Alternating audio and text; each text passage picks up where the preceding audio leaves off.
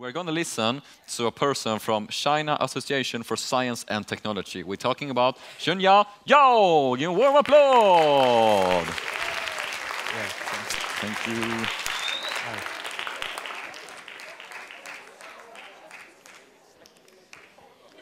Okay, my name is Shunyu Yao, and I'm from China. And my research is about representing images and text with aligned meanings. Let me start with a philosophical question. How do we learn things? What I mean is, we see, we see things every day, we hear things every day, and we read things every day. But those past experiences we'll never experience again. How are we supposed to use this past experience to generalize for future use? So machine learning answers this question using a concept called representation learning. In representation learning, we represent each data item, such as an image, or a text, or an audio wave, using a vector in mathematics, or to be embedded as a vector.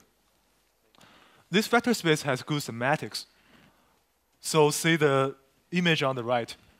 We can represent words using a two-dimensional vector in a two-dimensional space. And now we have these words, king, man, woman, and queen. We can do vectors addition and subtraction so that king minus man plus woman equals queen.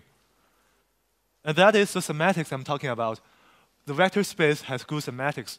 We can uh, represent meanings inside these vectors. And my question is, can we extend this to two modes of data, such as images and text, such that they can be represented in this vector space with aligned meanings? So in machine learning, we have all the fancy models to encode separately images and text. More specifically, my project uses a model called convolutional neural network to encode images into vectors. And also, I use a, um, yeah, thanks. I use a model called long short-term memory to encode sentences into vectors. So you can think of a naive approach to uh, combine these two encodings. So say we have this uh, sentence and uh, we have the image. So the sentence is actually the caption of the image. So their meaning should be aligned. We represent them separately into vectors called x and v. Now the idea is if the image and the sentence have the same meaning, their vector should be similar. So we created a loss function to align the meaning to align the vector x and v so that we can align the meaning of the image and the sentence.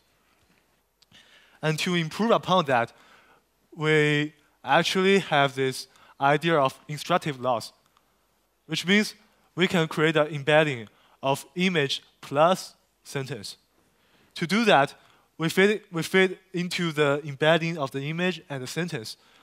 And we create another vector called xvx. That is the combination of the sentence of the image.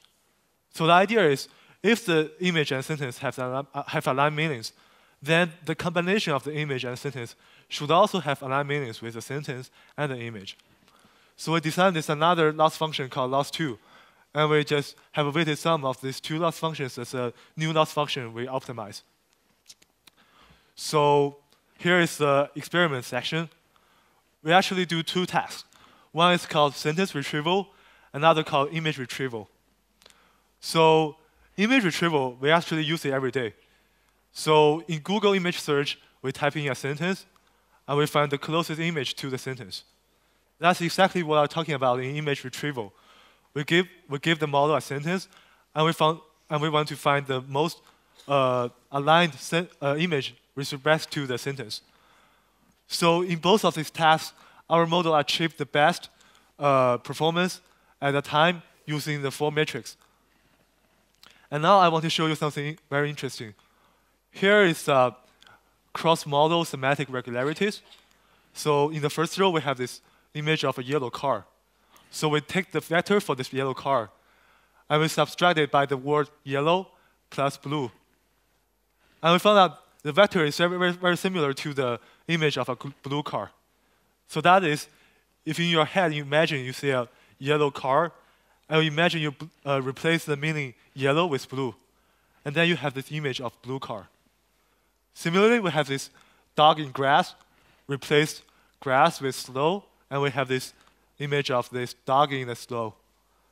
And also, person in the snow replace p- people with dog. Then we have this dog in the snow.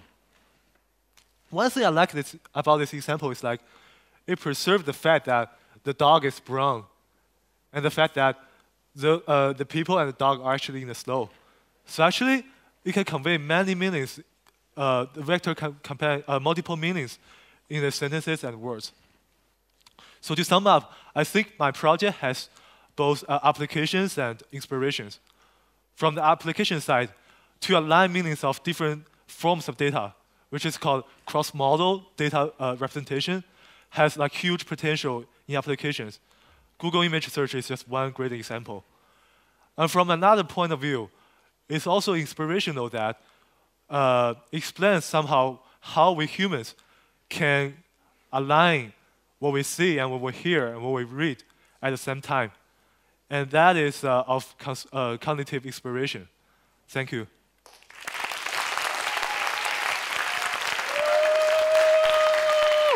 Thank you. High five.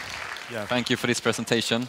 And sheshe, as I learned before. 谢谢. Sheshe, Yeah, yeah. yeah, yeah. Yes, that's thank you in Mandarin, yeah. Yes, true. Amazing. Yeah, some applause. Yes, exactly. I'm practicing, I'm learning, I'm training, yeah. But thank you for the presentation. It's so nice to have you here. And once again, I'm so amazed by your presentation and all the knowledge. I have to ask you like this: Will the robots take over one day, or uh, what do you think? Will the robots robot take us, or will we be will we be safe? Uh, I think we'll be safe. we'll be safe. Yeah. Okay. Yeah. Personal opinion. Personal opinion. Yeah. I stick with you then. Does that sound good? We want to be safe. Yeah. We get help from robots, but a little bit safer. That's good. We give once uh, warm applause uh, once again. Thank you so much for your presentation. And I can take this there. Yeah. Thank you so much. Yeah.